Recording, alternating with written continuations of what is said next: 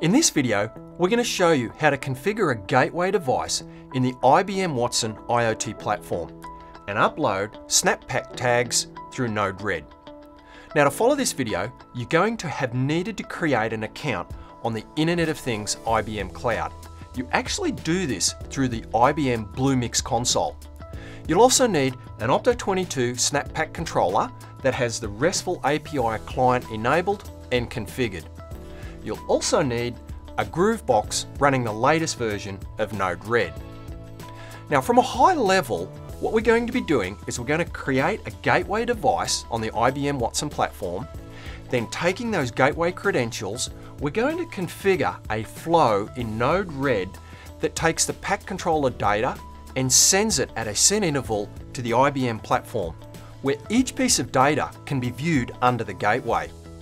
The big advantage of this configuration is that you can push your data up to the cloud. And this means we don't have to make any changes to any of the settings on the corporate firewall. Once your data is in the IBM Watson cloud, there's a whole host of different services that you can channel your data into. Things like time series databases, uh, machine learning, and even predictive maintenance analytics. So let's get started. First, we have to log into our IBM account. Enter your username and your password. Now select your organisation. The default view here is the cards, but because we want to configure a device, let's go over and select devices from the tab on the left. And here's our devices. We've got none configured at this stage, so let's go up and click on Add Device. Okay, we're going to create a new device and the device type is a gateway device. Here's where we enter a name for that gateway device. And we can also put in a description for it. Go ahead and click Next. Now, here we can set up a few different fields and it helps us organize our gateway devices. But to keep the video moving, we're just going to jump on here. We're going to click Next. We can add any metadata if we want. Again, I'm just going to skip over that and click Next. Now we actually go ahead and configure the device. So we get a device ID. I'm going to call this thing Snap Pack. Okay, go ahead, click Next. Again, we can add some metadata for this device. Now at this point, we need to generate a unique token. So we can type one in, but it has to be unique, or I'm just going to click Next and let Big Blue generate it for us. Here's our last chance to review those settings. We go ahead and click Next.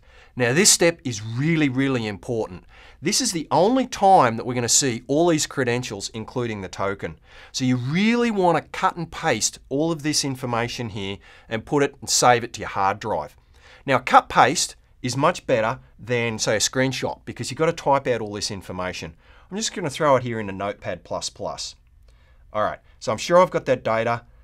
We're happy with it. Let's go ahead and click the X up in the top here. All right, there's our gateway device. Now, what we're going to do is we're going to flip over to Node-RED.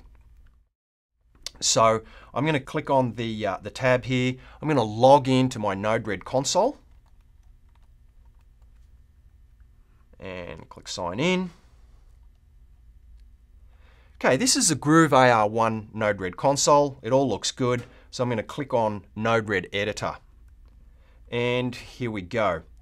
All right, okay, here's a flow that's uh, actually getting the data from Weather Underground. I'm going to keep that flow, so I'm going to click on plus. I'm going to create a new flow. I'm going to rename it. I like to keep all my flows organized so I can see what they are on the tab. I'm going to click done. Right, now the very first thing we have to do is drag over an inject node. And this is what fires off the data at the, uh, at the interval. So I'm going to select interval. And I'm going to select every five seconds here. And I like to put in the node name, how often it is, so that I can just tell how fast it's going to be doing. All right, there we go. We're injecting uh, every five seconds. Now what I'm going to do is I'm going to grab the SNAP PAC read node. This is what RESTfully gets the data from Node-RED out of the PAC controller. For more information on how to set this node up, check out developer.opto22.com. I'm going to quickly fill out the IP address here and also the credentials of my controller. All right, So you just have to fill out those uh, parameters that one time. Now I'm going to go down here and select my float variable. Where do I get this float variable from? Well, let's Alt Tab over here to a program called PAC Control.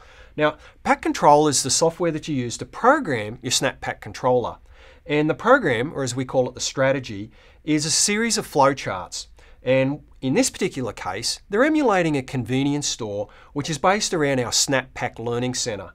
So by going directly to the program, we're going straight to the source, and we're going to cut and paste those tags to make sure that we get them uh, set up correctly here in Node-RED. So let's go over, and I'm in my numeric variables here.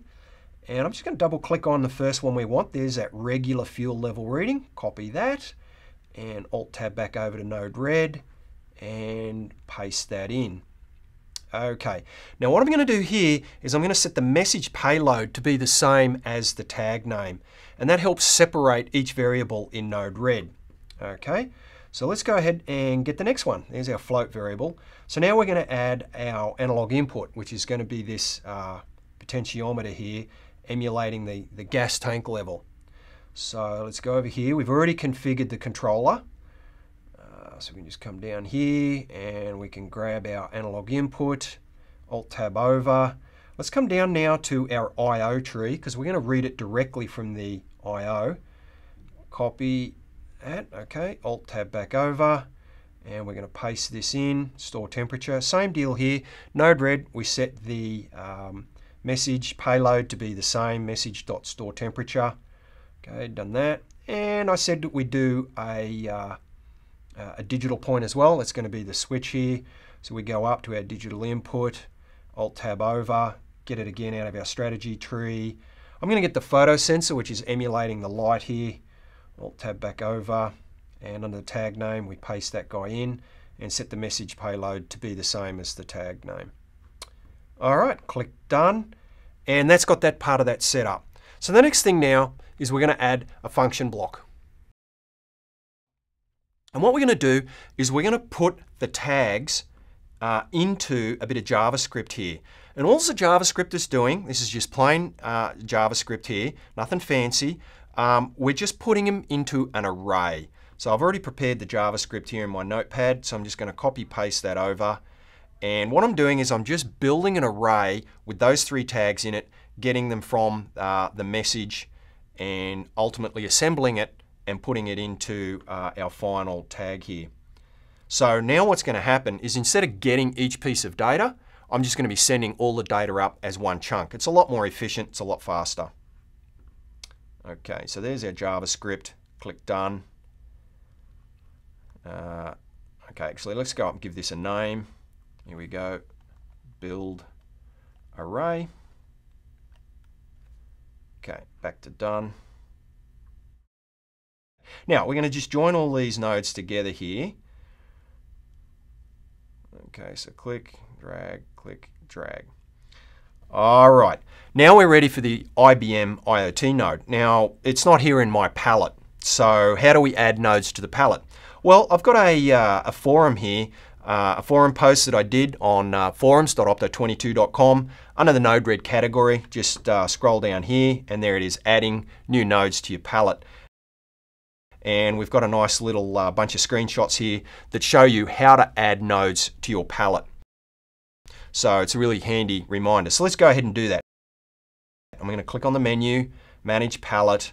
I'm going to click on Install, and I'm just going to type in Watson Okay, and there it is, the second one we want. Going to click install. And just wait a few seconds here for the node to install. All right, there we go, all installed. Okay, click done. Now when we scroll down, there we go, there's our IoT node. So we can click, drag, and drop that guy over. All right, let's double click on him and open up the configuration for this.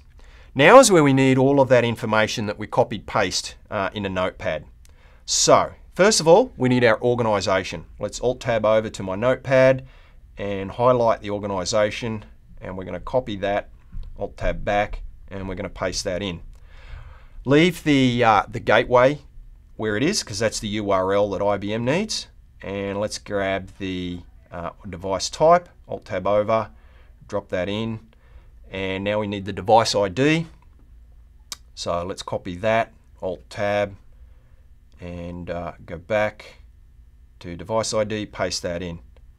All right, now we need that token, and this is why I copied paste instead of screenshot, because imagine having to type that out from a screenshot. And Control V that in, click Add, okay. Now we just need to change from device to gateway here. Let's drop that down. All right, there we go. Now we've got our device type again, so Alt Tab back over, copy that, Alt Tab, paste it back in, okay, and same with the device ID, Control C, Alt Tab, Control V. All right, there we go.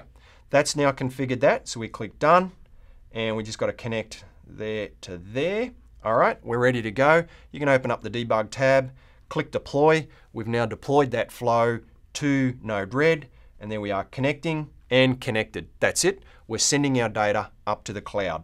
Let's take a look at that. Let's go back now to our IBM tab here in the browser. Uh, let's select it there. There it is. You can see the data's coming up. We got the nice signal strength to say that it's connected. To see the data, we simply click on the gateway and we have to wait up to a maximum of five seconds here because it refreshes every time the data comes in. So sometimes I find it helps to click on refresh. Just wait a second here for there it, there it is. Boom. There's everything. All our data is now coming from our SNAP PAC controller, from our I.O. system, through Node-RED, up into the IBM cloud. Now from here, what we can do is we can add rules, we can build dashboard cards, or we can upload our data to other IBM cloud services. For more information, check out developer.opto22.com. Cheers, mate.